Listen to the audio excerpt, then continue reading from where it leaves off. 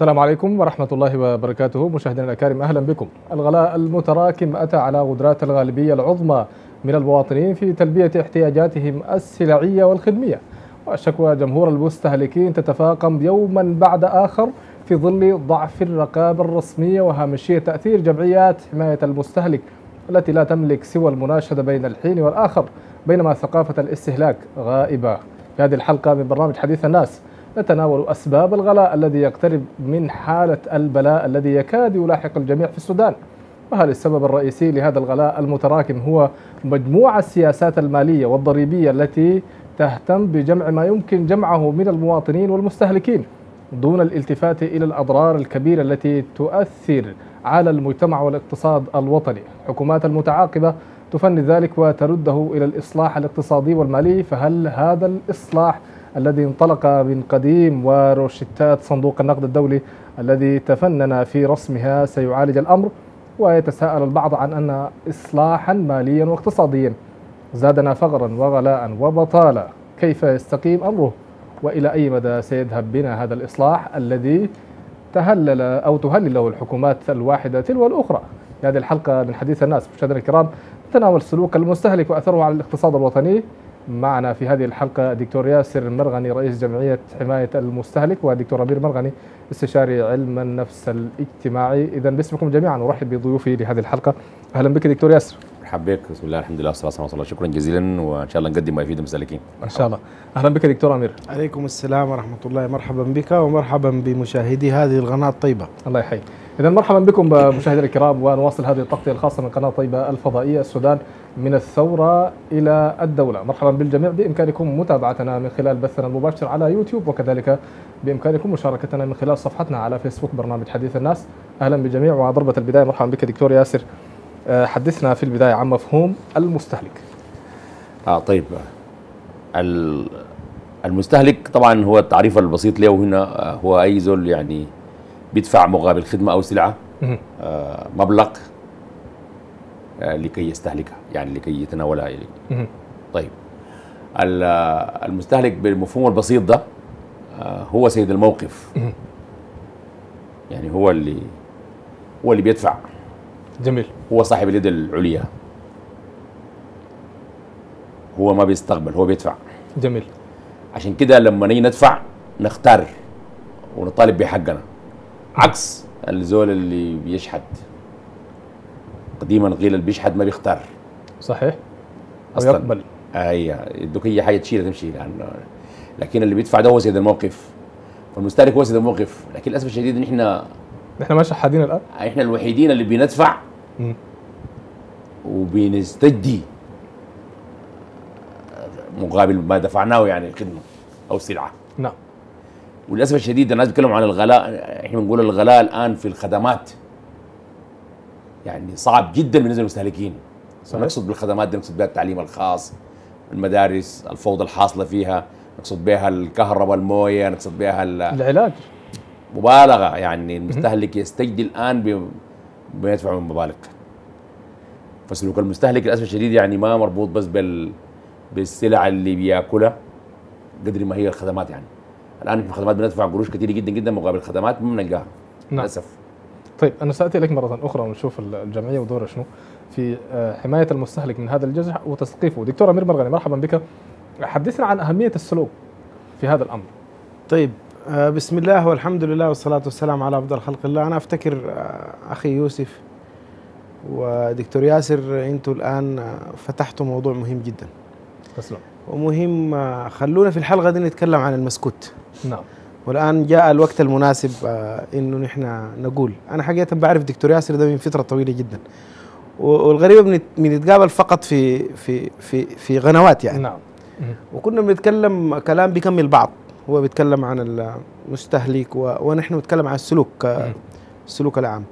وعايزين نقول طبعا السلوك معروف يعني إنه هو استجابة بتنتج عن مؤثر محدد بالنسبة للفرد أو الجماعة. استجاب يتصرف آه نتيجة لمؤثر محدد. حتى المؤثر ده يا إما داخلي يا إما خارجي. نتج عنه هذا هذا السلوك. لكن خلينا نتكلم بعلمية أكثر ونقول كلمه سلوك المستهلك نفسها بتنقسم لكلمتين. أو موضوع البرنامج يعني. نعم. سلوك ومستهلك. والسلوك نحن عرفناه. مهم. دايرين نعرف المستهلك. المستهلك هو فرد أو جماعة طبيعية مع أو معنوية بتستخدم سلعة أو خدمة ما. مقا- بمقابل محدد. وأنا عجبني جدا كلام دكتور ياسر إنه نحن محتاجين نحيي الثقافة دي بشكل كبير جدا. وما في زول يا يوسف يقدر أن يوصل هذه المسألة زي برامجكم دي ده الإعلام. جميل. لأنه حقيقة المواطن السوداني وإنت تعلم تماما انه عندي دراسة كاملة عن الشخصية السودانية للأسف إنها ما عارفة حقوقها وين. وللأسف نحن الصفة بتاعت الطيبة بتاعت السودانيين دي الموصوفين بها نحن في كل العالم وهي حاجة هي إيجابية. ناتجة عن شنو يا دكتور أمير؟ آه شنو الطيبة يعني؟ ناتجه عن شنو إنه نحن حقنا ضايع كده وما في زول بيسأل ما أنا جايك. أقدر أقول لك إنه الش- الشخصية السودانية شخصية يعني تسامحية شخصية آه طيبه عشان كده أنا شايف الجماعة تعبانين جدا جدا في مسألة المرحلة الأولى والسلام والست شهور الأولى. المسألة دي مع الشخصية السودانية لو درسوها ما محتاجة كل ال وأنا متأكد إنه الناس حيتجاوزوا المسألة دي في أقل من ستة شهور. لو مشوا في الاتجاه شنو؟ صحيح. الصحيح اللي اتبنت عليه الشخصية السودانية. يبقى الشخصية السودانية شخصية تتصف بالتسامح شخصية تتصف بالطيبة. لكن مرات كثير جدا الطيبة دي لما تغيب عنا بعض العوامل الأساسية الوعي عدم إدراك القانون عدم تطبيق القانون. بت- بتؤدي للفوضى والعشوائية دي. كثير جدا زي ما قال دكتور ياسر أو أشار كثير جدا من الشرائح في المجتمع ما عارفة حقوقها وين طيب هنجي نشوف الحقوق دي إن شاء الله من من- الناحيه نعم. السلوكية وكيف نقدر نفعلها أنا أرجع مرة أخرى دكتور ياسر ظلت جمعية حماية المستهلك صوتها مرفوع لكن تظل في مرحلة المناشدات يعني أنتم ما عندكم سي على على السوق ما عندكم رقابة بالضبط دوركم شنو؟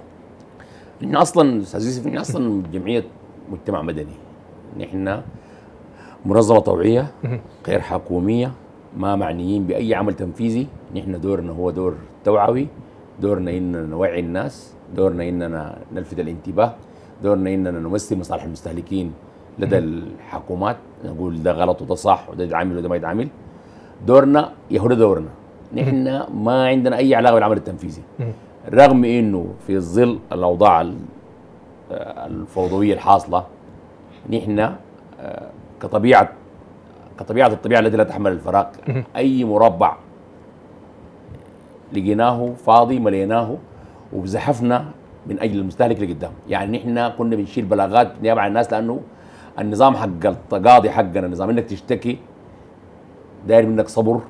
كثير جدا جدا وداير مال قارون وما في زول فاضي عشان يشتكي ويمشي يجرجر. لكن نحن لأننا متطوعين وعندنا 30 40 محامي متطوع. بيقدموا معاون قانوني. بنمشي نيابة عن المستهلكين نشتكي ونبلغ للجهات الرسمية لكن نحن كجمعية دورنا توعوي ما عندنا علاقة بالعمل التنفيذي أصلا. هنالك نيابة للمستهلك هناك شرطة للمستهلك طالبنا بقانون والحمد لله القانون جه. القانون القومي للمستهلك جه وجاء ب يعني على دماء الشهداء يعني وعلى إيقاع يعني صعب جدا جدا تم توقيعه يعني مكرهين كده يتوقع يوم 31 يناير 2019 بعد الأحداث الدامية بتاعت آه، المسيره حقت بري ورويال كير والقصة دي يعني. فأنا عايز أقول انه القانون ده الآن نحن دايرين نطبقه. بس اجتهدنا جدا عشان نطبقه والآن مع الحكومة الجديدة. وإن شاء الله حنطبقه خلال هذا الأسبوع. طيب. نقصد نقصد بتطبيقه تعيين المجلس اللي المركزي السيادي الموحد اللي بيحمي المستهلك. اللي هو بيتكون منه هذا القانون. طيب. نعم. الجمعية حيكون دورها شنو في, في هذا الجسم؟ مزيد من الضغط من أجل المستهلك مزيد من التوعية مزيد من الانفتاح على المستهلك مزيد من الحقوق. وبأموالنا حقوقنا زي ما قلت لك. إحنا يعني أصلا حاجة ما دفعنا فيها قروش ما دارينا لكن إحنا دفعنا فيها قروش دارينا. أموالنا حقوقنا. بس الجمعية مفتوحة لل- لل- للجميع اوبن أصلا الجمعية مفتوحة للجميع. عندنا 18 فرع في 18 ولاية لكن تتحرك الفروع حسب نشاط الوالي والحكومة الولائية ودعمها للجمعية وكده. لكن في الخرطوم هنا كالعادة يعني الخرطوم محل ال... مركز. محل ال... أي محل الناشطين كتار محل الناس كتار محل ال... فعلا سياسي. طيب جميل. نعم. إن شاء الله استعود لك مرة أخرى. دكتور أمير مرغني حال سلوك بنامن عليه في في في في تعديل ال- الحقوق ال- الغائبة. يعني المواطن السوداني ده ما عارف حقه. جيت أنا الليلة بصاحب دكان أشتري منه سلعة ممكن يلقاها بسعر الدكان الثاني بسعر مختلف وبشتري. أنا مرغم. كيف نصل لمرحلة إنه ياخذ سلوكنا يتجاوز هذه المرحلة؟ طيب أنا ب... أنا أنا أنا حقيقة ده سؤال ذكي جدا مم. لكن أنا عايز أقول لك برضو يا يوسف إنه ثقافة المستهلك هي واحدة من المجالات اللي بتدل مباشرة على عناصر التغيير الاجتماعي مهم. بشكل أساسي أنا عايز أقول لدكتور ياسر نعم. وللمشاهد وللمهتمين بالموضوع ده إنه الآن ده الوقت المناسب ما حدث في السودان أخي يوسف ليست ثورة سياسية بقول الكلام ده كباحث وكأكاديمي وكمراقب ما حدث في السودان ليس ثورة سياسية ابدا. مم. ما حدث في السودان هو تغير اجتماعي كبير جدا. لم يحدث منذ 40 عام. خلينا عشان أنت بتتكلم عن التكافل خلينا نقدم نموذج ميدان الاعتصام كدراسة. هذا الميدان يعني أنا قبل اتكلمت لك عن مسألة السلام وما السلام عشان أتكلم عن الشخصية السودانية وسلوكها ونجي راجعين للاستهلاك أو المستهلك. يعني ما حدث في ميدان الاعتصام لم يحدث في السودان منذ 40 سنة. عشان كده حتى مسألة السلام الاسي الناس شغالين فيها دي هي كانت متمثلة داخل ميدان الاعتصام بشكل كبير جدا. طيب. مسألة يقودنا الاستهلاك لماذا هذا يقودنا إلى ماذا في مسألة السلوك؟ ما- يقودنا إلى إنه الشخصية السودانية فقط محتاجة إلى مثل هذه الجمعيات وهذه المنظومات اللي تكلم عنها دكتور ياسر. محتاجة لمثل البرامج بتاعتك دي عشان نوعي. بالمناسبة الشخصية السودانية شخصية نحن ناس بليفر جدا. وناس بنسمع الكلام. ما تسمع يعني القصة دي. صحيح شبابنا الأسي عملوا الثورة ديل بيقول لك سموه الجيل الراكب راس لكن خلي دكتور ياسر ده ولا انت ولا أنا نملكهم شنو؟ نملكهم حقوقهم. بيجيبوا حقوقهم دي زي ما جابوها بالكامل. طيب كيف. يتم تفعيل هؤلاء الشباب؟ في إنه حتى هم ذاتهم يساهموا في أنا ما جايك إنه قلت لك يعني هي هي هي واحدة من الأعمدة أو الدلائل سلوك المستهلك ذاته اللي بتدل على التغيير الاجتماعي. وما حدث الآن عشان نربط مع بعض هو تغيير اجتماعي حقيقي. يبقى الآن عشان كده أنا قلت للدكتور ياسر إنه ده الوقت المناسب أن إحنا نقدر نوعي الشباب ديل. الش... ال- الآن هم في الميدان وفي الشارع ومراقبين بالمناسبة حتى الحكومة الجادة ومراقبين حتى الحرية والتغيير ال- ال- الأحدث التغيير ده. ومراقبين حتى المجلس ال- العسكري ولا المجلس السيادي الآن ده. يبقى مهم جدا يا دكتور ياسر نحن وإنتو نحن كأكاديميين وإنتو وإنت ذاتك يا يوسف لابد إنه نحن بكل الوسائل ندوات نصل الناس نوعيهم. وأنا في سعيد جدا بس أنا كنت قايل المسألة دي فيها قانون بالمناسبة. نعم. بالرغم إنه أنا عندي عندي رأي كبير جدا في القوانين في السودان. أقصد في تطبيق القوانين في السودان. جميل. ليه؟ لأنه ربط ال- يعني إحنا في إحنا كاست... في الدراسات الاستراتيجية عملنا تحليل عميق جدا جدا لمشاكل السودان. وصلنا ليوسف النقطة دي مهمة جدا لازم اكملها لك. تفضل. وصلنا لإنه مشكلة السودان الحقيقية هي في السلوك. كلها أدت للمشاكل الاقتصادية أدت للمشاكل سلوك سلوك المواطن ده عموما. كان مواطن ولا كان بكره بقى حاكم ولا بقى وزير؟ يا هو ذاته المواطن اللي بيجي بسلوكه العجيب العشوائي ده. كويس؟ عشان كده تكلمنا قبل كده في حلقات عن سلوك المواصلات صح؟ جميل. سلوك الناس في المواصلات. نحن الليلة خلينا نتكلم أنا ودكتور ياسر عن إنه يا أيها المواطن يا شباب أنتم محتاجين تفهموا تماما وأنا فرحان تاني بقول الكلام ده بالقانون إنه في قانون بتاع حماية المستهلك يخليك قبل ما تطلع من بيتكم وتدخل يدك في جيبك تعرف حقوقك بالكامل عشان تغير المسألة دي وطبعا طيب. المسألة دي فيها ثلاثة محاور أنا حاجيك لثلاث محاور دكتور أيوة. ونشوف يعني آه، مسألة ذاته تمليك الناس آه، ل- يعني لحقوقهم بيئة طريقة وبيئة كيفية. خلينا نشوف دكتور ياسر يعني ما هي الوسائل اللي ممكن نستخدمها في توعية الجمهور والمعرفة بحقوقه؟ أنتم جمعيه عندكم نشاط ومشهود لكم لكن هل الجمعية لوحدها بتكفي؟ نعم هي طبعا آه، الجمعية الواحده ما بتكفي لكن في ظل ال- الفضاء المفتوح في ظل الإعلام ال- المتوفر الوسائط الموجودة دي الآن يعني نحن يعني كنا محظوظين إنه يعني قادرين ننتشر عبر الوسائط دي بشكل محترم جدا. يعني الآن عندنا أكثر من 12 مو- 12 آه، مجموعة تخص فقط حماية المستهلك في الع- في مثلا إذا قلنا في تطبيق الواتساب فقط. الثمانية لجان حقتنا لجنة اقتصادية لجنة آه، إعلامية سلامة الأغذية اللجنه الصحيه لجنة الخدمات الهندسية والبيئة. كل اللجان دي الآن موجودة في ألو... وتتفاعل جدا. غير الجمعية العمومية برضو عندها مجموعة في ال- الواتساب. والفروع. فأنا عايز أقول لك إنه إحنا مستفيدين جدا من الحكاية دي. ثاني حاجة الجمعية الآن اتنقلت نقلة بإنه هي ممثل في المنظمة العالمية للمستهلك. يعني جيد هذا. أي نعم يعني السودان واحد من 13 دولة بيديروا المنظمة العالمية للمستهلك. طيب السودان الآن رائد جدا في حماية المستهلك في الوطن العربي. سابقا يعني قبل الثورة يعني كنا نعاني جدا في حكايه إننا يعني نتكلم في حاجة لأنه كان الناس يعني المسؤول هل تعرضتم لمضايقات مثلا؟ نعم نعم. المسؤول هو نفسه يعني هو صاحب السلعه التي يعني بيبيعها. وفي نفس الوقت هو مسؤول فنحن سئمنا من حكاية الوزراء التجار وسئمنا من الحكاية دي وثاني ما ثاني ما بتجينا. زي ما قال لك آه، دكتور أمير ثاني ما في. يعني ثاني ثاني رجع لورا ما في. ثاني حكاية إنه الناس واعية جدا لحقوقها الضامن شنو؟ الضامن شنو؟ الضامن ال- الضامن الكشافات دي. كشافات مسلطة. ما أنت مولي كشافة. نعم الضامن الآن اللي شايفين بعيننا نحن يعني شايفين الآن بعيننا ما في زول الآن يعني بيقولوا يعني طوالي بعد نص ساعة تكون الحاجة اللي عملتها دي طوالي الناس كلها عرفوها يعني ما في ما في غطغطة ما في أيوه. تماما يعني نعم. فنحن عايز أقول لك إنه يعني ده الضامن الحقيقي. بعدين المستهلك ده يزيد من الشفافية طيب تقول لي كشافات زيادة عشان. جميل ما هي حقوق المستهلك التي يجب عليه أن يعرفها دكتور أمير؟ المستهلك عنده ثمانية حقوق وخمس مسؤوليات جميل حق تلبيه الاحتياجات الأساسية له غذاء كساء مأوى. حق التثقيف. حق الأمان. حق المعرفة. حق الاختيار. من حقي أنا أختار. حق التعويض. حق سماع صوته. وحق العيش في بيئة صحية خالية من ده المخاطر كله ما في لكن يا دكتور. كله موجود. كله موجود. لكن طبعا بتتفاوت كله. موجود. يعني حق سمع صوته ده في كل الدنيا دي المستهلك ده بيمثلوه. تمثلوا زول ساهي من الشارع. بيديك الراي أحسن من رأي الحكوميين اللي قاعدين ده يقول لك ده نعمل كده إنت رأيك شنو؟ ده نعمل مواصلات. خط من كده لكده. يقول لك والله يا أخي أحسن تكون الخط. كده. يعني حق سمع صوته ده حقوق أساسية. نعم. حق العيش في بيئة صحية خالية من المخاطر. يعني أنا من حقي أي خاشي مستشفى ألقى العلامات. هنا الأشعة ممنوع الدخول. هنا ممنوع للمراه الحامل ما تخش هنا.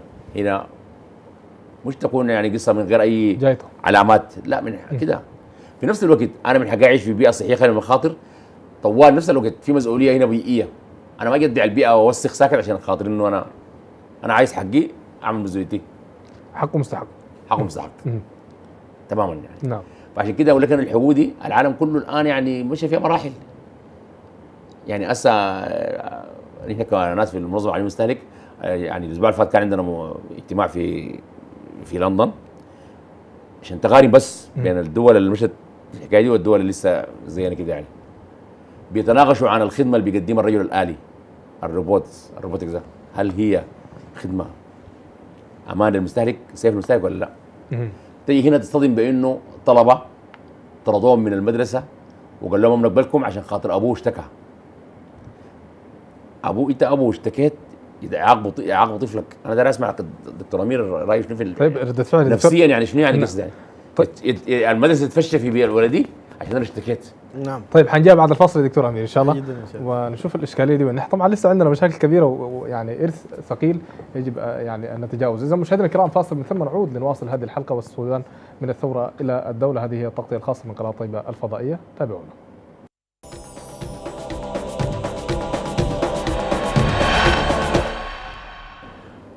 أهلا بكم من جديد مشاهدينا الأكارم في كل مكان في حديث الناس واليوم واصلين حول سلوك وثقافة المستهلك.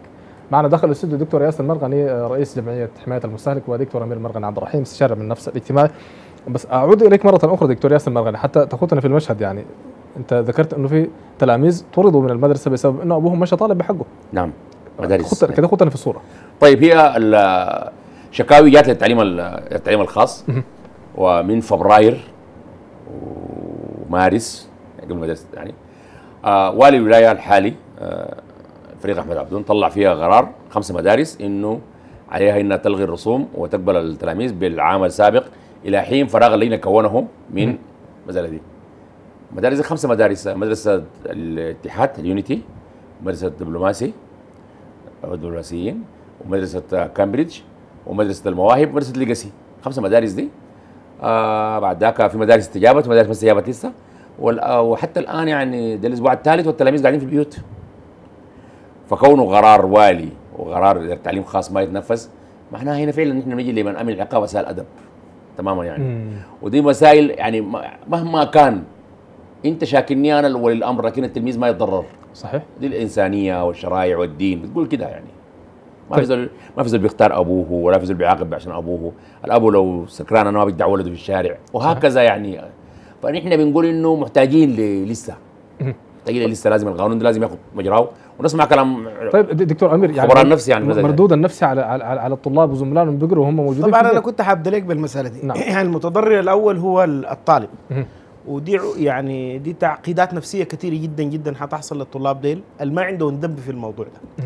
ولكن الادهى والأمر في الموضوع ده آه، إذا فتحتوا الموضوع وأنا في بداية الحلقة قلت لك حقه نتكلم عن ال- تفضل. الم- يعني المسكوت عنه. تفضل. التعليم الخاص آه، إذا أخذنا ولاية الخرطوم نموذج يسيطر على 70% من ال من ال يعني شوف وب يعني على ال على ال- الوضعية بتاعت التعليم في, في ولاية الخرطوم. و30% اللي هي المدارس الحكومية بتاخذ أكبر نسبة بتاع الطلاب أكثر من شنو؟ من ال يعني اذا إذا بس غارنا نعم. إنه الفصل في المدارس الخاصة فيه كم؟ والمدارس ال- الحكومية فيه كم؟ الحكومة ال- أو ال- الم- ال- المدارس الحكومية بتستوعب أكبر عدد من شنو؟ من الطلاب. رغم إنه 70% من الإمكانيات ماشية موجودة في المدارس شنو؟ الخاصة اللي بتستوعب فقط آه، قرابة ال 40% من من, جميل. من 60% بتتحملها منه تتحملها المدارس. طيب. خلينا أنا أقول لك الأخطر من الكلام بتاع دكتور ياسر. هل تعلم إنه وأنا مسؤول من الكلام ده؟ إنه التعليم الخاص لاوي يد الحكومة؟ حتى بعد التغيير؟ يس. الآن. طيب. ما هو لازم طيب. التغيير ده يكون شامل جدا. طيب جميل. السلام عليكم. يعني الآن ال- القرار اللي طلعته الحكومة وجروا فيه ناس دكتور ياسر دين بإنه يا أخي المواطن ده مفترض يعني ما ما ما, ما تزيد له الرسوم بشكل بشكل جنوني ده من حقه. كمستهلك من حقه كمستهلك أيوه أيوه طيب ال- ال- ال- الحصل ال- الحصل شنو بعد ذاك؟ لما طلع القرار ده وبالمناسبة كان فيها قرار اتحادي قبل نعم. قبل القرار بتاع الولاية صح نعم. ولا ما صح؟ نعم. إنه تاني ما تزيدوا ال- البتاع ده ولازم يتعاملوا صح ولا ما صح؟ نعم. لما طلع القرار ده المدارس الخاصة قالت أنا بقفل فاهمني؟ لما قالت أنا بقفل بنسبة بتاعت 40% حيمشوا الشارع كويس؟ فهنا لوت يد شنو؟ يد الحكومة يد يد الحكومة طيب عشان ما نحن ال- ال- النقطة المهمة أه. القانون غير مطبق.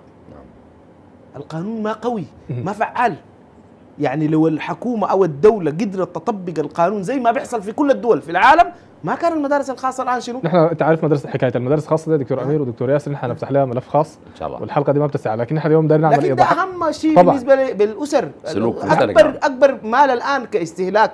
ما هو الاستهلاك المستهلك ده جميل. الاستهلاك ده شنو؟ سلعة أو خدمة صح ولا نعم، ما صح؟ صحيح. وأهم حاجة فيها التعليم صحيح. يعني الوالد الوالد ده والأسرة دي بتدفع ملايين الملايين عشان شنو؟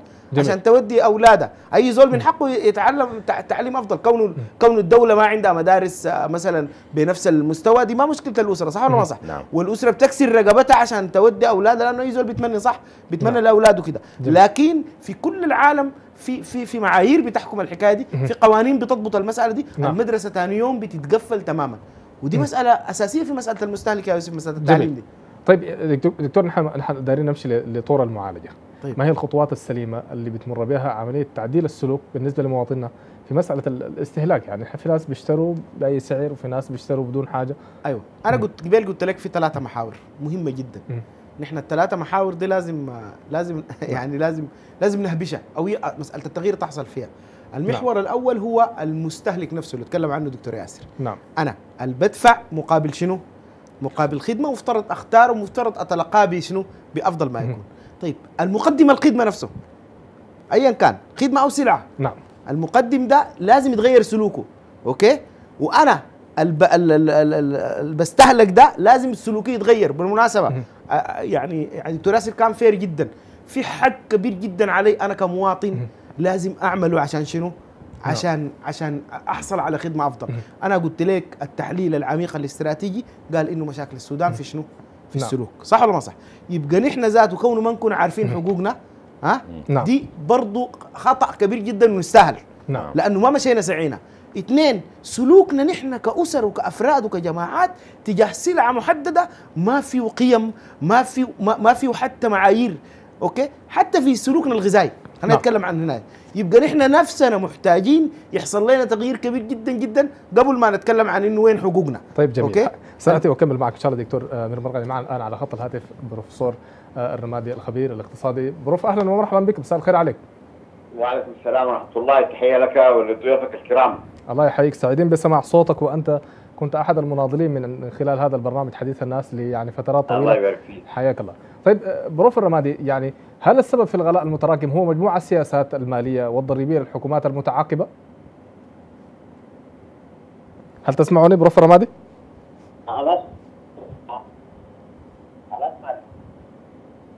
ألو؟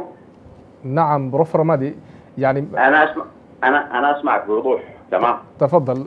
سألتك تسمعني؟ نعم نعم. هل هو السبب يعني هل السبب في الغلاء المتراكم هو مجموعة السياسات المالية يعني والضريبيه للحكومات ال- ال- ال- المتعاقبة آه، هي بالتأكيد ساهمت إلى حد كبير يعني مم. الأخطاء المتراكمة آه، فعلا آه، في في في هذا الذي يعاني منه المواطن ولكن طبعا يعني هم اساسين أساسا هم سببين آه، رئيسيين أنا في تقديري أنه لا ثالث مم. لهما كل هذه إضافات يعني.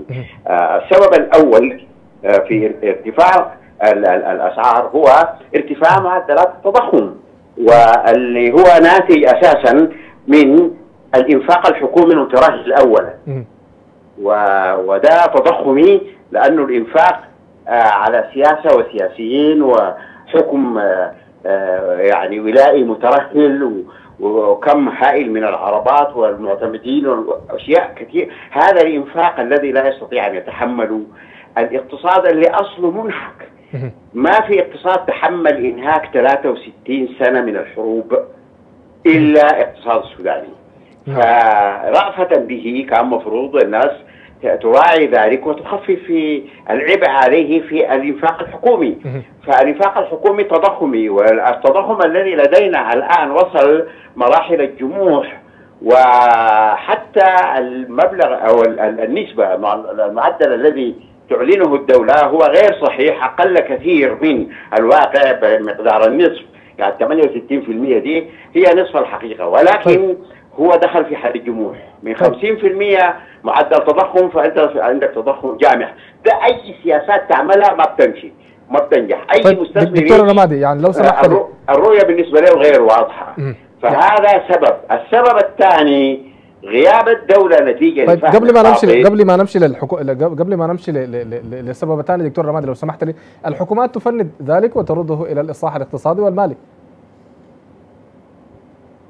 أين هو الإصلاح ال- ال- في في خلال ال- ال- خلينا نتكلم بس عن العشر سنين الأخيرة. أين هو الإصلاح ال- المالي وال- وال- والاقتصادي الذي تم؟ بحيث أنه يتلافى هذه القصور. تفاقم المشكل آه، مضاعفا حقيقة. ولم يقابل الزيادة في معدل التضخم زيادة في دخول الناس. آه، فتدنى آه، مستوى المعيشة مع مع ارتفاع تكاليف المعيشة وثبوت الدخول تدنى مستوى المعيشة. طيب آه، الآن يعني لو سمحت ممكن أدخل في تفضل. السبب الثاني تفضل تفضل دكتور طيب غياب الدولة نتيجة لمفهوم خاطئ ولا يلزمنا وأحذر ال- الإخوة في الحكومة الجديدة لأنه ابتديت أسمع نبرات عن اقتصاد حر وما اقتصاد حر الذي يعني آه، أنهك المواطن وأتعبه بالغلاء غياب الدولة عن الساحة الاقتصادية. أدارت ظهرها بصفة كاملة. وتركت المواطن نهبا لمافيا ما أسميها أنا مافيا السلع. ما من سلعة إلا ولها مافيا. ودخلت السوق المركزي ومثلت نفسي بتاع بطيخ وطماطم ووقفت مع كيف يتعاملوا مع المنتج آه، يبخسوه حقه. وبعدين البطيخه اللي اشتروها قدام قدامي من من من, من المزارع جاي من الجزيرة حطيها في اللوري ب 5 جنيه جو يبيعوها لي في آخر اليوم فارشين برا ب 50 جنيه 10 أضعاف. هذا الحجم من المغالاة فاحش. جميل. وده ما كان ليحدث لولا أن الدولة كانت تدير ظهرها بالكامل. الاقتصاد أوجد طرق. هناك يعني آه، آه، آه، ما يعرف في الاقتصاد بقنوات التوزيع. أهملت إهمال كامل. وجاءونا بفلسفة لتخدم أغراض فئات معينة أن الدولة حاكم وليس تاجر. يا أخي أنت دورك تنظم. ما تبقى أنت ذاتك تاجر. لكن أشرف على قنوات التوزيع ما بالضرورة الدولة تمسك ذاتها ولكن اللي هي ما هي قنوات التوزيع؟ كانت موجودة قبل الإنقاذ اللي هي التعاونيات في مراكز العمل والتعاونيات في الأحياء؟ نعم. لماذا تعدم هذه وتوقف؟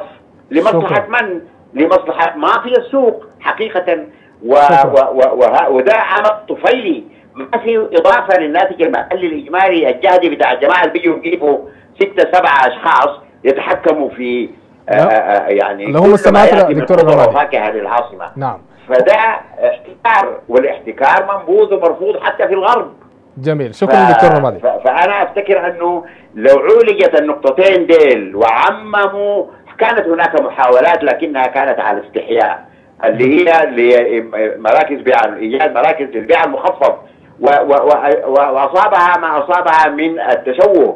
لأنه دكتور. اولا حذرت من أنها ما تكون مراكز كبيرة بعيدة عن متناول يعني ست البيت نعم. وحصل مراكز ضخمة جدا فعلا شكراً. هذا ما سمح به الوقت هذه هي الشريحة رمادي. المستهدفة شكراً جزيلاً. الشريحة المستهدفة ذوي الدخل المحدود في الأحياء الضعيفة شكراً. ف- آه، آه، دي أبعدوها منا نعم. طيب سيد البيت أو ست البيت عشان تركب مواصلات وتصل لغاية مع محل المركز ده وتشتري وتجي تكون تضاعف عليها السعر أكثر. طيب شكرا دكتور رمادي كنت جنبها. أنا أشكرك على؟ هذه المداخلة الرائعة. شكرا جزيلا. اشكرا.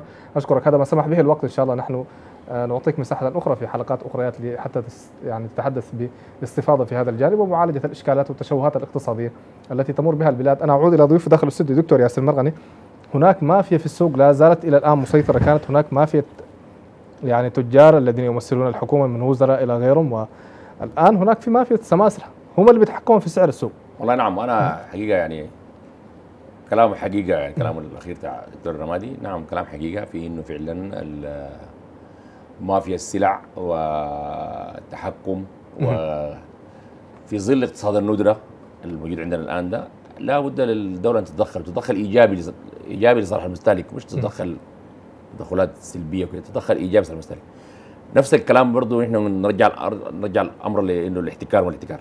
عندنا قانون لمنع الاحتكار نعم. تنظيم المنافسه لكن بنقول إنه الرسول الكريم صلى الله عليه وسلم قال الجالب مرزوق والمحتكر ملعون. الجالب مرزوق يعني زول بي ومنع تلقي الركبان خارج الأسواق. ده كله حاصل عندنا يعني الآن أنت جايب بضاعتك نحن نرجع ل... ل... ل... يعني قبل 40 سنة من الليلة كان الزول الزارع ده بيجيب حاجاته في السوق المركزي. ولا تباع العربية حقته دي تباع قدامه تباع قدامه لل للفريشة والناس اللي بيفرشوا ديل قدامه. بعدك هم بيمشوا يعملوها في شكل كيمان كده تاني وبيدوه سعر مجزي بمزايدة وب زي ما بيقولوا مزاد يعني. فده الأصل في المزارع. نفس الحكاية الجمعيات التعاونية الزراعية. هي صمام الأمان هي الحل. التهاون في التعاون يتهاون جدا في التعاون. يعني لصالح جزء. معين لصالح ما لصالح مافيا معينة.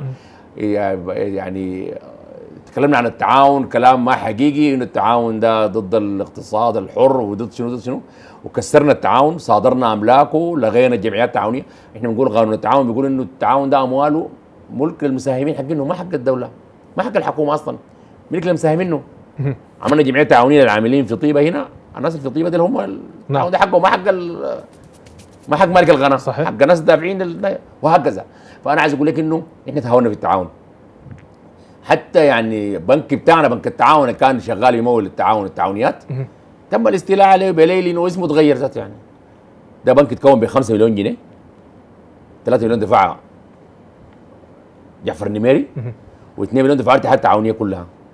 ب 5 مليون جنيه تم عمل بنك التعاون. فجأة كده جو قاعد يزيد رأس ماله خشت فيه ولاية الخرطوم بس بقى مملوك لأفراد. الولايه ذاتها بقى ما حقها. وهكذا. دي كل حاجات لازم تتراجع؟ ما ده كل حاجات لازم تتراجع من أصل التعاون. التعاون ده هو صمام الامان المشترك. التعاون هو اللي بيدينا سلع نظيفه التعاون هو بيدينا بيحافظ على الأسعار. يا أخي الدول الكبيرة جدا زي الكويت واحدة من أكبر الدول اللي بتتكلم عن الاقتصاد الحر الجمعية الاستهلاكية أنت تاجر بتبيع بتستعرض لها هي اول حاجة. الجمعية الاستهلاكية في التعاون في الكويت هي أهم من أي زول ثاني أنت بش... أنت وهكذا. نحن بنقول حلنا في التعاون وحلنا في التعاونيات. لكن فوق لك كده. ثاني نرجعك. ان إحنا بنعاني كمستهلكين. في السلع دي عندنا بدائل لكن في الخدمات ما عندنا بدائل موية كهرباء اتصالات تعليم. والتعليم هو التعليم والتعليم يا يوسف. إن شاء الله حنجي ونفرد لهم مساحة كاملة. دكتور ياسر اعدك إن شاء الله. ودكتور أمير مرغني السؤال إن شاء الله إليك. آه، يعني إحنا عندنا الآن ما في بتاعت سماسرة في السوق وده السلوك مش يعني في أي حاجة في السوق موجودين. حتى في المدارس في ما في بتاعت سماسرة. طيب أنا أنا حاجيك لها إن شاء الله بعد الفاصل. إن شاء الله بإذن الله. إذا مشاهدينا الكرام فاصل من ثم نعود لنواصل هذه الحلقة ومواصلة في التغطية الخاصة السودان من الثورة إلى الدولة. تابعونا.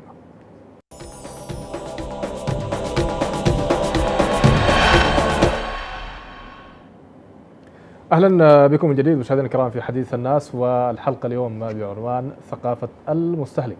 إشكاليات السلوك حاضرة وكذلك الإشكاليات الموجودة في السوق نقاش مطروح مع ضيفي داخل الاستوديو الدكتور ياسر مرغني رئيس جمعية حماية المستهلك. ودكتور أمير مرغني عبد الرحيم استشاري علم النفس الاجتماعي.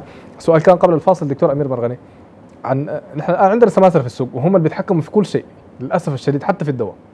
يعني وهذا سلوك شخصي كيفية معالجة هذا السلوك؟ طيب. أول حاجة أنا داير أشير إشارة سريعة لبروف الرمادي نعم. وعايز أقول انه مشكلة الحكومات منذ أن خرجت الفكرة البريطانية في 56 لم تحل محلها فكرة وطنية سودانية حتى الآن.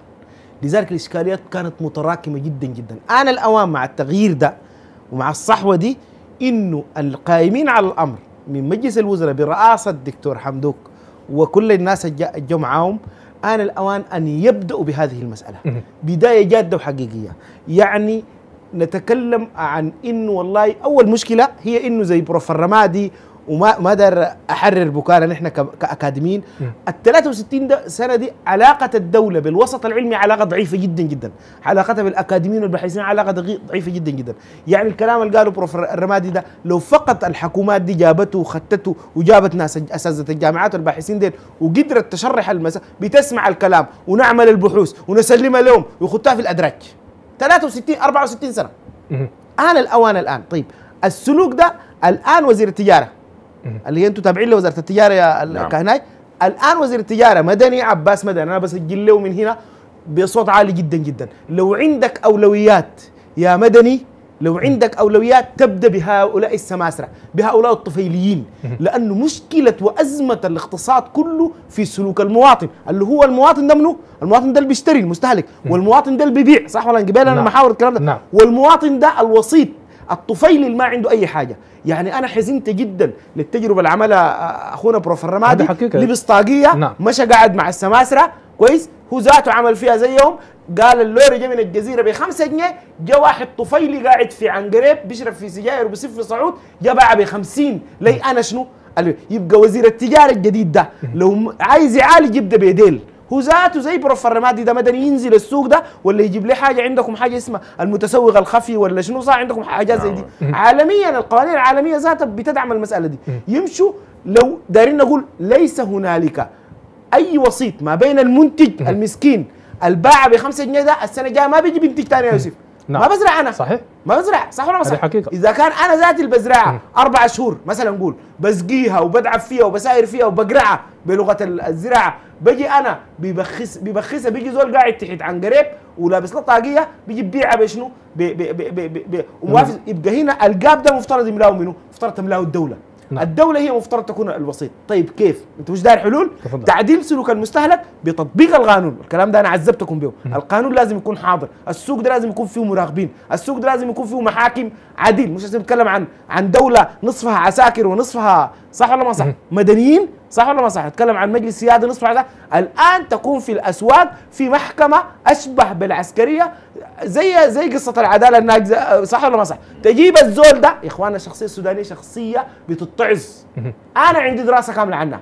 لو في في السوق ده في في في محكمة عادلة في قاضي قاعد immediately جاب الزول الوسيط الطفيلي ده وطوالي دخله السجن أو عمل فيه أو علقوه في السوق أنا بقول الكلام ده والكلام ده قد ناس كثيرين يزعلوا مني نعم. أي زول يلعب بغوط المواطن المسكين ده أو ي ي ي يعني يعمل آه، ثروة كبيرة جدا جدا من وجه حق حقه يعاقب باقصى العقوبات جميل. يب- يبقى النقطة الأساسية دار اديك للعلاج. هي القابل ما بين المنتج والمستهلك ده. يا دكتور ياسر حقه تملأه الحكومة. تملأه الحكومة بشنو؟ بإنها هي تجيب آه يعني مثلا هي هي هي التوص... هي توفر السوق للمستهلك ده للمنتج. لازم توفر السوق. إنه والله بتيخك ده اللي بعته ده أنا بضم... أزرعه وأنا بضمن لك شنو؟ سوقه. تسويقه. أزرعه وأنا بضمن لك ترحيله. أزرعه وأنا بضمن لك إنه يطلع من الجزيرة لحد ما يجي الخرطوم ما في زول يشيل منك أتاوات في الشارع. جميل. هذه على- الآن الحكومة ماشية فيها كويس. يعني بالذات مسألة القمح الآن السعر ال- التاشيري آه، 2500 جنيه هذا السعر مجزي. ماشية الناس كويس تتحرك. لكن تجيب عند الوسطاء وال وال والطفيلين ديل وما بتعالج. جميل. إن شاء الله نحن دي رسالة تصل للمسؤولين. دكتور ياسر أعود لك مرة أخرى. يعني المستهلك متى يشتري ومتى يحجم؟ يعني كان قبل فترة أقل من شهر هناك حملة لمقاطعة اللحوم. وكان في استجابة لكن ما بالقدر الكافي اللي بخلي التجار ديل يرجعوا من من خطهم بتاع الغلا اللي كل أسبوع بيخط لك 5 أو 10 جنيه بدون أي مبرر. طيب يظل أي سلعة عندها بديل. ما في سلعة ما عندها بديل أي سلعة عندها بديل. ويظل الغالي متروك. هو شعار صالح كل زمان وكل مكان. يعني أنا الثقافة دي عجباني صراحة عند جيراننا المصريين ديل. لو جه الصباح لقى الكيلو بتاع الطماطم ب 2 جنيه ونص ما بيشتري. لأنه ب 2 جنيه هم عارفين مكتوب بالفحمة في الكرتونة في الأسواق ما في. براهم كده يعني خلاص حاسبين المسألة دي. أنت بترجع للمواطن يعني. أصلا دي ثقافه المواطن. أي شيء غالي ما تشتريه. ما عندي بديل هو بيقول كده. بديل موجود. ما خلاص ما أنت أنت أنت ما قادر تشتري. ما هو نعم. كده دلوقتي. أي سلعة مهما غلى عندها بديل. لكن أنت ما تخليها أنت ما تشتريها وهي غالية. أنت ما عارفها. ما امبارح أنت جيت اشتريت كيلو عدس ده مثلا ب 40 جنيه. اللي بقي الليلة 70 شنو؟ كده. وانت عارف انه عندنا 8 انواع بتاع العدس. والثمانيه انواع العدس دي كلها مصدرها واحد عشان تكون عارف. واحد بس. جابوا لنا شوال 50 كيلو من تركيا عبوا لنا هنا. هنا سموه أسماء مختلفة. ده سماه أمير ده سماه يوسف ده سماه ياسر. ويخشوا فينا نحن ونحن نشتري. اللي بخير ده 70 ده 60 80 ده 30. ده الدور حق الحكومة تتدخل. مناشد حقت مدني اللي قالها دكتور أمير دي. نحن معاه 100% في سلع في سعر تأشيري. والقانون القومي لحماية المستهلك اللي وقعوا المخلوع ده 31 يناير ده بيحق علينا نتكلم عن سعر تأشيري. يعني الثاني ما في زول بيتكلم زي ما داير على كيفه. السعر ده بيكون مطبوع من ال... من الم... من المصنع طوالي حلعبوه أنا عايز أقول إنه الغالي متروك. أنا عايز أقول إنه من المزرعة الميده كلام اللي قالوا برضه نعم. ما في حاجة اسمها تاني زول. أنا زرعتها يا عرضنا طوالي. السوق المركزي ده عمل سنه 70 السوق المركزي في الخرطوم ده؟ نعم. بتاع بحري خرطوم درمان. عمل سنه 70 وكان وزير الزراعة واستراحه حيواني وقتها هاشم العطا عمل في بحري خرطوم درمان. عشان كان أي زول عنده مصطبة أنت زرعت تيجي مصطبة تبيع حقك. شوف إحنا تدهورنا كيف مشينا اللي ورا كيف. بقينا ناكل أكل ما طبيعي. أكلنا كله صناعي ومعلبات و... ومتنا. ولا حتى ومتنا الخض- يعني بال- الخضروات فيها مشاكل نعم. متنا بالسلوك الاستهلاكي. العالم كله بيتكلم من المزرعة المائدة. الآن الأغذية العضوية الأغذية الطبيعية هي الأغلى. الآن اكلنا كله. اكلنا كله محور ويجيك وزير يقول لك ما يكتب ديباجة يجيك وزير يقول لك يخالف القانون وهكذا. جاء الوقت جميل. ان إحنا نتكلم مدنية ونتكلم حضارة ونتكلم إن شاء الله سنعبر بإذن الحياة تبقى أحسن يعني. إن شاء الله. طيب لديك إضافة؟ تفضل دكتور. أيوه أنا عندي إضافة. إضافة قصة ممكن؟ قصة تفضل، طريفة. حكى لي والدي. آه أستاذ مرغني. قال لي يا أخي إحنا كنا نتناقش في الموضوع ده. موضوع لأنه كنا جايين من السوق المركزي وبيتكلم عن نفس الكلام اللي قاله الرمادي واللي تكلم فيه الدكتور ياسر قال لي زمان نحن لما نسافر الشمالية كنا بنسافر بالبابور. تعرف البابور؟ بابور البحر. البحر. قال لي في محطة محددة بدون نذكرها هو ذكرها. قال لي دي مشهورة بالمانجا الغزيرة. قال لي بيجوا بيجي بتاع المانجا ده بيفرش المانجا كيمان كيمان كيمان. وأول ال... أول ما الباخرة دي تقيف بيكون خالف رجله بيقول الكون بخمسة قروش. قال لي ما في زول بيمشي عليه. أصلا. شوف الثقافة دي كانت كيف. ما في زول بيمشي عليه. بيضطر هو شوف ده الكلام اللي دايرين إنه نحن يحصل الآن. ودوركم أنت يا دكتور يا دكتور ياسر. قال لي بيضطر لما الباخره يكون باقي لها نص ساعة يقول الكومين بخمسة قروش. قال لي لما يشيلوا الحبل بتاع الباخره ويسووه تضرب بوري لل- للجماعة عشان يركبوا الناس تحت قال لي بيقول الأربعة كمان بشنو؟ بخمسة قروش. والناس ما بتشتري. لدرجة إنه قال لي نحن جوا الباخره بنشوفه ما بشيل المانجا شوف شوف. بيشيل شواله الفاضي بيخلي المانجا في محلها. لأنه ما في زول شنو؟ اشترى منه. يبقى نحن محتاجين نصل للدرجة دي يا دكتور ياسر. إنه والله اللحمة دي اللحمة دي أنا والله بحيي الشعب السوداني. بالمناسبة لأن مقاطعة اللحمة نجحت نجاح كبير جدا جدا. إلا من بعد الله. وطبعا أي مجتمع فيه بعض الشواذ شواذ، صح ولا ما صح؟ صحيح. نحن عايزين هذه الثقافة. وبالمناسبة الثقافة دي ما قادت ما قادتها الدولة. قادوها الشباب بتاعنا الثورة دي وقادتها الوسائط دي. المسألة بتاعت المقاطعه دي. نحن محتاجين نغير سلوك المستهلك بالمبادرات الزي دي يا دكتور ياسر. إنه نوعي الناس. أنا مصر إنه يا دكتور ياسر أنتوا دوركم كبير جدا. وأنت يا, يا, يوسف دورك أكبر كإعلام. نعم. لازم نوعي الناس بحقوقهم. والآن الجو مناسب. إنه لو وعينا الشباب ديل قلنا لهم بكرة الفول ده الفول ده مش سيد المائدة لو قلنا لهم الفول ده يا أخي الفول ده ما ت... يا أخي أنا امبارح مشيت أشتري بصل امبارح بصل أداني خمسة بصلات قال لي ب 75 جنيه. وأنا بتذكر جاي من جامعة الجزيرة قبل قبل فترة ليست بالبعيدة okay؟ okay كان عندي منشط هناك. والله العظيم ال- على مر طريق مدني الخرطوم البصل ده مخزن في الشوارع في في بيخزنوه على يمين الزلط. طيب اللي بيخلي البصل بالوفرة الكبيرة دي ووصل المرحله دي شنو؟ اللي هم ديل الوسطاء. أنا عايز طيب. أقول تاني لدكتور حمدوك وليه مدني عباس مدني. هم ده الموضوع الحلقة.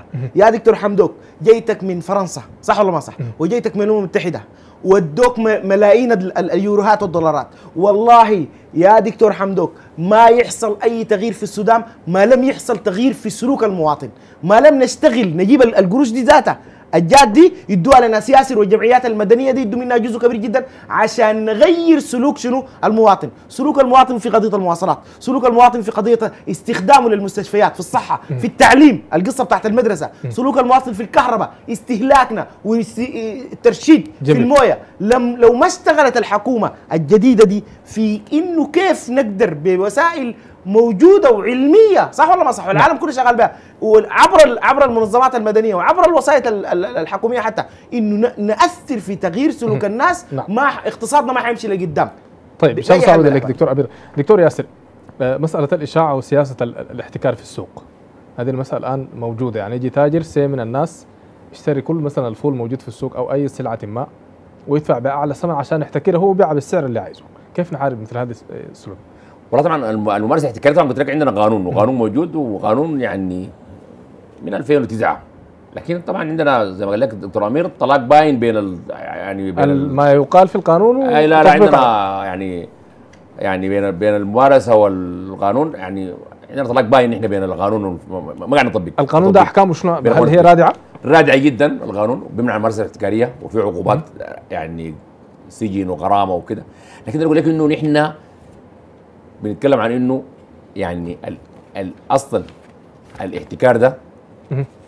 ما هو دي ال- أقرأ لك عشان تكون واضحة المساله كده. طيب.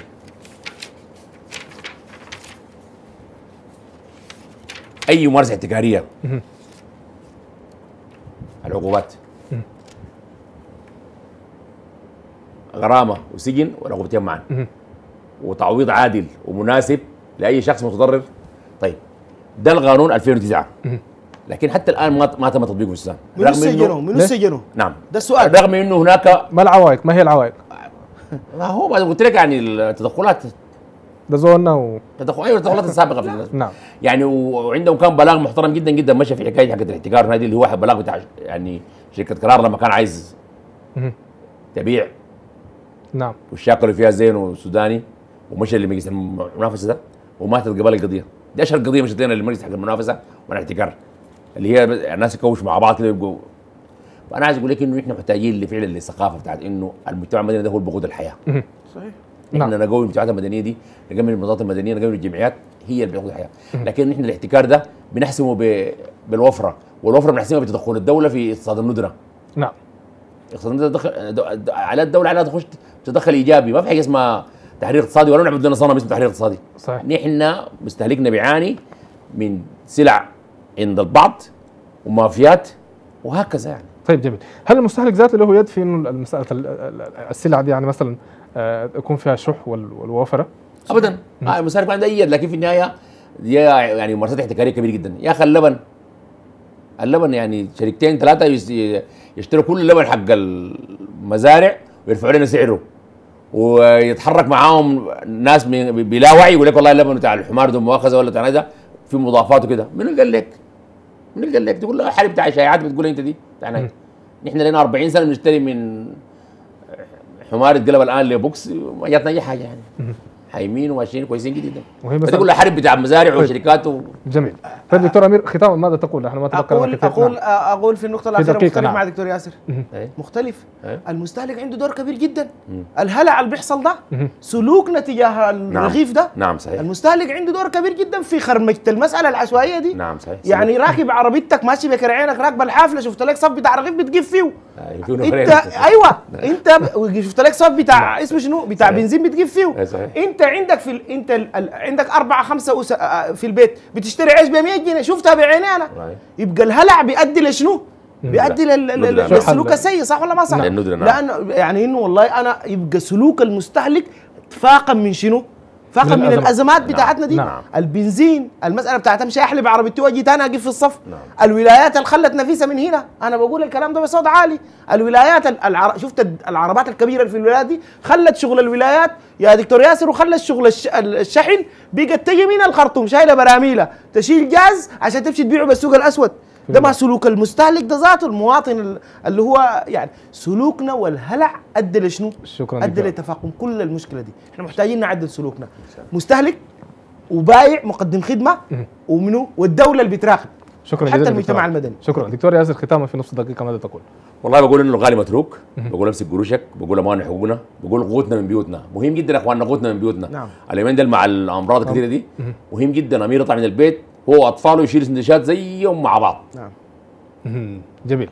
شكرا جزيلا دكتور ياسر. اذا مشاهدينا الكرام في هذه الحلقة من برنامج حديث الناس تناولنا سلوك المستهلك وأثره على الاقتصاد القومي وضعف الرقابة الرسميه على السوق وتأثيرات جمعيات حمايه المستهلك بجانب غياب ثقافة الاستهلاك. في حلقاتنا القادمة سيواصل برنامج حديث الناس مناقشته لمهام الفترة الانتقالية الواردة في الوثيقة الدستورية من خلال برمجة قناة طيبة الفضائية الخاصة السودان من الثورة إلى الدولة. شكرا ضيوفنا بالاستوديو دكتور ياسر مرغني رئيس جمعية حماية المستهلك دكتور أمير مرغني استشاري علم النفس الاجتماعي. شكرا جزيلا لكم. اذا شكرا مشاهدينا الكرام على حسن المتابعة. سنلتقي الله في الأجال في حلقة جديدة من حديث الناس. إلى ذلكم الحين تحياتي وفريق العمل. في أمان الله.